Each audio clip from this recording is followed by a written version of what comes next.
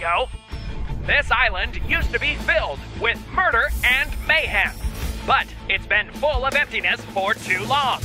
Too long! I can now say that power is being restored to the island. We also need you to bring life back to the arena. And by life, well, you know what I mean.